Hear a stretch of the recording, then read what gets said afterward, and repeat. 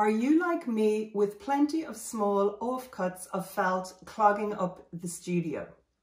Would you like to learn my top tip for creating beautiful felt beads using these scraps? The beads can be used for things like necklaces, buttons, or embellishing your felt or other textile pieces. My name is Nicola Brown and during this short video, I will share my favorite way of utilizing these scraps in a simple and efficient method. There are many other ways of making felt beads, but this I feel is quite time saving and also I feel it results in beautiful pieces. Let's go. The first thing to do is gather your supplies. For this project, you need some offcuts or scraps of handmade felt, a sharp pair of scissors or a rotary cutter and a mat, strong thread or yarn that is not wool, a very sharp hand sewing needle, longer is better than short, and you are also going to need your washing machine. If you've never felted before, why not watch my beginner's wet felting tutorial, make some samples, and then you can use one or two of those for making your beads. Step one is to cut your felt into little squares. Now I'm using a felt bag here, an eco-printed felt bag it had three different layers of wool. I wasn't happy with the bag and I'm quite confident that this thicker felt is going to make very nice beads. Don't obsess about cutting your little cubes very accurately.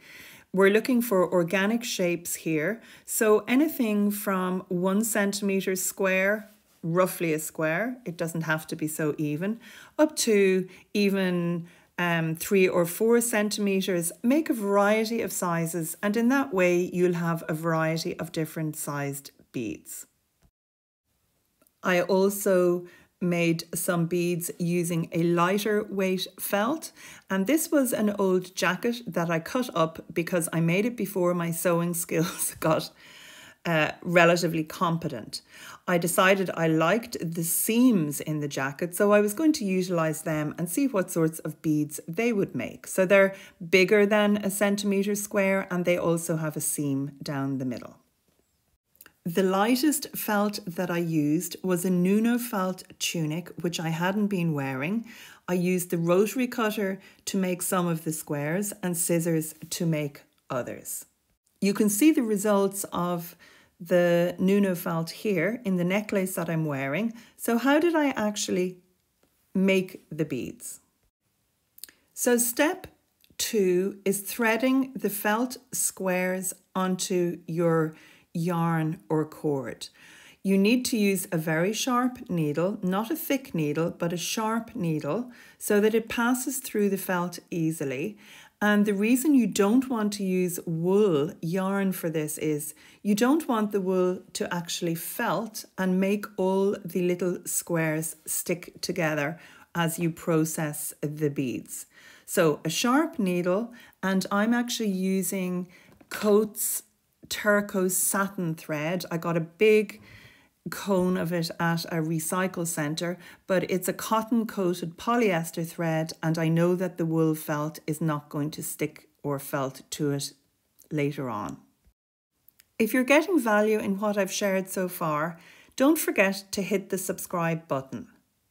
Moving on, I then strung all the eco printed uh, squares or rough squares, the two different thicknesses.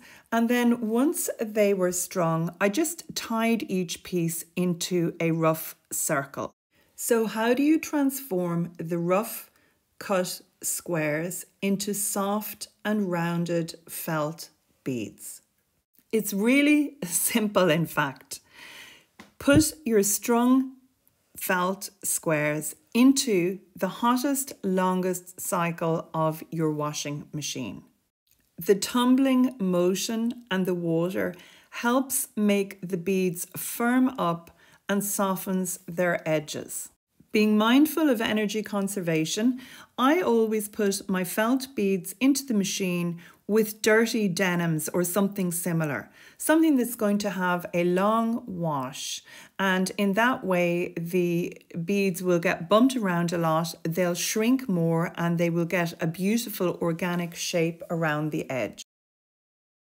Two small notes of caution. Don't put brightly coloured beads in with your white shirts or anything really important. And also, I recommend not having black cotton in the machine at the same time, or you may pick up all sorts of little bits of fuzzy fibre onto your, your cotton. As you can see from my completed beads, there are some beautiful organic shapes with soft edges to the beads. I used to have a more aggressive washing machine rather than the very environmentally friendly one I have now. And if this is what you have, you'll actually find that the beads are a rounder and more even shape. I love having them organic anyway. And this piece that I'm opening up now, these are actually the beads that were the lighter eco printed felt, the jacket that I cut up and you can see that some of the pieces have almost felted together. And I find it quite interesting where the seams were in the felt.